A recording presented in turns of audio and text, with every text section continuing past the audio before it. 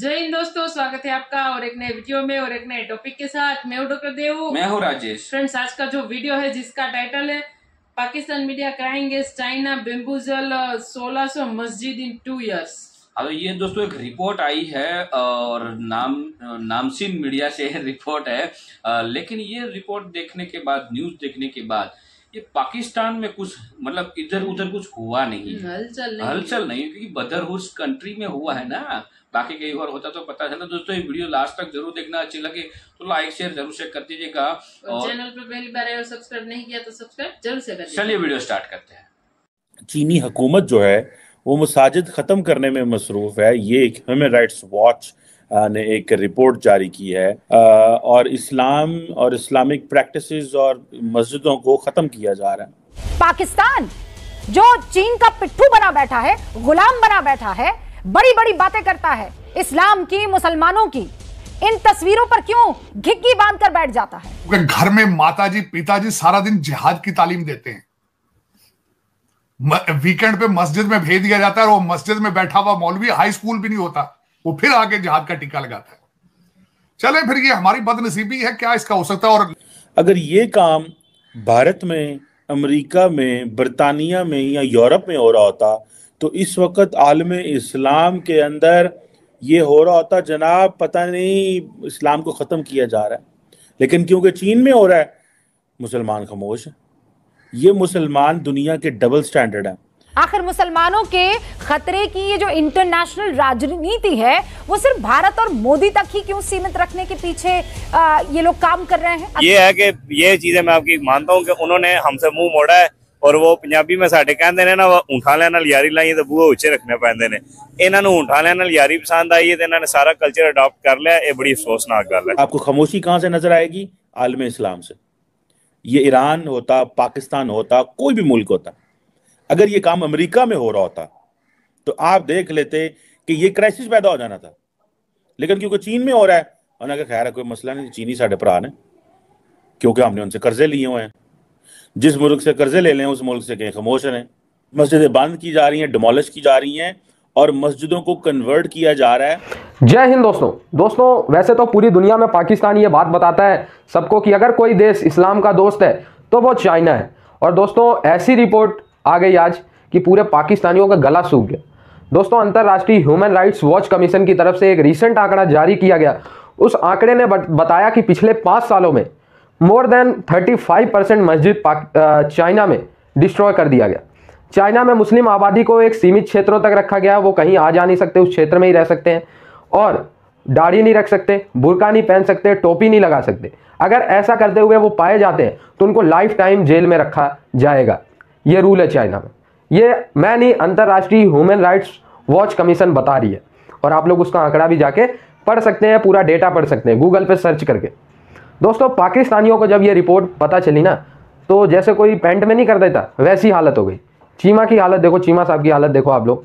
मतलब पाकिस्तान वही है ना कि जो इनका, जो इनको लोन देता है, वो इनके लिए हमेशा अच्छा है। और भारत में अगर अगर मस्जिद की एक सीढ़ी में दरार आ जाए ना तो पूरी दुनिया में हल्ला मच जाता है कि भारत में इस्लाम खतरे पे चाइनीज़ हैं, वो वो जिसे कहते हैं ना, मस्जिदें खत्म कर रही है। इंपॉर्टेंट एरियाज़ में, दो तीन इंपॉर्टेंट एरियाज़ में। इसका नाम है मॉस्क कंसोलिडेशन पॉलिसी और ये बेसिकली इनफैक्ट अगर देखा जाए तो this policy is against the freedom of religion this policy is against the freedom of expression of religion and freedom of speech दुनिया का कौन सा मुल्क आपको कहता है कि आप अपनी मस्जिदें जो हैं वो ख़त्म कर दें। ये चीज़ें जो हैं, ये हैं और हम खामोश हैं।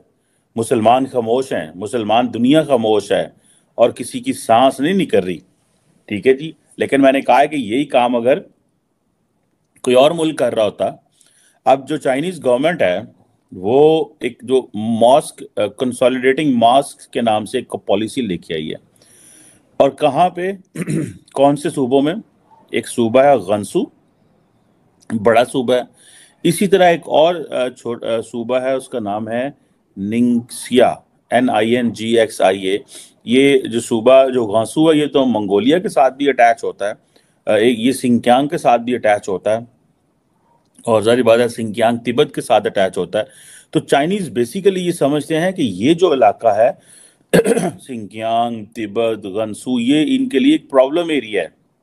क्योंकि इस खत्े के अंदर इनके बॉर्डर्स बहुत ज़्यादा हैं। म्यांमार के साथ, भूटान, नेपाल, इंडिया, पाकिस्तान, किर्गिस्तान, यहाँ पे इस्लाम है। सो वो उनकी आप अगर आप इंटरनल पॉलिसी देखेंगे तो वो बड़े परेशान होंगे। क्योंकि उनको तो जारी बात है किसी चीज़ ने परेशान नहीं किया। वो कहते हैं, ये मुसलमानों ने ये जिधर जाते हैं, ये अपनी कोई ना कोई अपनी चीज़ें बना लेते हैं, अपना तौर तरीका बना लेते हैं। तो इससे पहले कि ये इस हद तक डोमिनेट कर जाएँ हमारे ऊपर हमें बोलना चाहिए। लेकिन क्वेश्चन तो ये पैदा होता है कि मुसलमान लीडर कब बोलेंगे ये पब्लिक कब बोलेगी? इतनी हिपोक्रेसी कैसी हो सकती है? ठीक है जी। आ, आ, और चाइना का जो कानून है वो क्या है? मैं बता देता हूँ।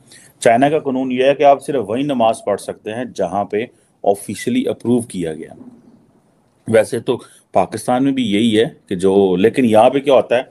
यहाँ पहले मस्जिद बनाई जाती है। देखिए, यहाँ पे भी ऐसे ही, जहाँ पहले मस्जिद बनाई जाती है, बाद में बताया जाता है। अब जारी बात है, हालात बदल गए हैं, पहले बताना पड़ता है। माजी में ऐसे नहीं हुआ करता था। पहले मस्जिद बनाई जाती थी, फिर हुकूमत को बताया जाता था, जी, ये मस्जिद बनी हुई है। ठीक है जी। अब 2016 से प्रेसिडेंट शी जो है, इसने जो सिंसाइजेशन ऑफ़ रिलीजन्स के नाम से एक जो पॉलिसी लेके आए हैं कि जी, लोगों की जो स्पिरिचुअल लाइफ है, उसको स्टेट कंट्रोल करेगी। और ये जो स्टेट का कंट्रोल है ओवर द रिलीजन इसको और मजीद कंट्रोल कर लिया गया है। तो बेसिकली ये जो मॉस कंसोलिडेशन पॉलिसी है, ये 2018 में जो चाइना की सेंट्रल कम्युनिस्ट पार्टी का जो डॉक्यूमेंट है, उसमें आई है ये। और जिस जितनी भी स्टेट एजेंसीज हैं, वो कहते हैं कि वो अपनी स्ट्रेंथन करें जो कंट्रोल है कंस्ट्रक्शन के ऊपर रेनोवेशन के ऊपर इस्लामिक वेन्यूज जो हैं, वो एक्सपैंड ना करें। और और जो जो जिसे वो कहते हैं ना कि एक एक कंप्लीट कंट्रोल होना चाहिए। उस सिलसिले में अगर डिमोलिशन डिमोलिश भी करनी पड़ती हैं तो कर दे, कोई फ़र्क नहीं पड़ता। अब ये चीज़ें जो हैं जिसे कहते हैं कि चाइनीज़ चाहते क्या हैं? चाइनीज़ चाहते ये हैं कि वो जो मुस्लिम्स हैं, उनकी जो लॉयल्टी है, उसको ट्रांसफॉर्म करें रीडायरेक्ट करें towards communist party of China तो ये चीज़ें हैं पर्टिकुलरली ये जो हुई मुस्लिम जिन्हें कहते हैं और uh, उनको ताकि बताएँ स्टूडेंट्स को uh, उनको बताया जाए जहाँ वो काम करते हैं जहाँ वो जॉब करते हैं उनके हवाले से डाटा वगैरह इकट्ठा कर। मतलब ये है कि इस इस्लामिक आर्किटेक्चर फीचर बदले जा रहे हैं। ये जो डोम्स होते हैं मस्जिदों मसाजिद के ऊपर मैं अमेरिका भी गया हूँ मैं यूरोप भी गया हूँ मैं मिडल ईस्ट गया हूँ हमने पूरी दुनिया जितनी को मेरी आ, मैंने ट्रैवल किया है मैंने देखा है। अमेरिका के अंदर जो मुसलमान हैं दोस्तों उन्होंने वो इजाजतें ली हुई हैं कि वो कर सकते हैं जनाब मीनार रख सकते हैं। अब तो ये इजाज़त ले ली है कि अजान की जो आवाज़ है वो बाहर आया करेगी जो कि पाकिस्तान में भी नहीं है। इस तरह की इजाजतें ले ली हैं। पहले पाकिस्तान में होता था कि शहर लेवल पे जो अजान वगैरह है, उसको ऊँची आवाज़ में, स्पीकर में कहा जाता था। अब बंद कर दिया गया है। अब गवर्नमेंट ने कहा है कि नहीं, इसको अंदर रखें। गाँव वगैरह में आज भी शहर में गाँव, जो अजाने हैं, वो जो कॉल फॉर प्रेयर होती है, वो स्पीकर में दी जाती है। अब ये चीज़ें क्या आपको पाकिस्तान में कोई प्रोटेस्ट नजर आया कोई प्रोटेस्ट नहीं है आपको याद होगा वो हमारे वजीर अजम हुआ करते थे इमरान खान साहब उनसे किसी ने पूछा ना कि पाए ना ਤੁਹਾਨੂੰ पता है सिंकियांग सूबे ਦੇ ਵਿੱਚ मुसलमानों के साथ जुल्म हो रहा है उन्होंने कहा मुझे तो पता ही नहीं वहां पे ये भी होता है मैंने तो कभी सुना ही नहीं है वहां पे ऐसे होता है तो बाद में उन्होंने कहा कि कुछ अरसा बाद उन्होंने कहा कि हम तो वज़ीर आ, हमने अपना सफ़ीर भेजा सिंह के आंग में और वहाँ पर उन्होंने बताया सब अच्छा है कोई प्रॉब्लम नहीं है। तो ये चीज़ तो दोस्तों सो थैंक यू दोस्तों वीडियो को यहाँ तक देखने के लिए बट कमर सीमा की जो ज़्यादा जली है हर बात देखो ये ये वाला कांड यदि भारत में हुआ होता अमेरिका में कहीं हुआ होता तो ये लोग तो मतलब पागल बन जाते हैं। हाँ। अब जब चाइना में हो रहा है तो ये लोग कुछ नहीं बोल रहे हैं। क्यों क्योंकि वहाँ से उसको भीख मिलती होगी। तो यही तो होता है पाकिस्तानियों आपका आपका इस, आप हर बार बोलते हो इस्लाम खतरे में इस्लाम खतरे जब चाइना में होता है तब क्यों खतरे में नहीं होता? है आप बोल लिया करो।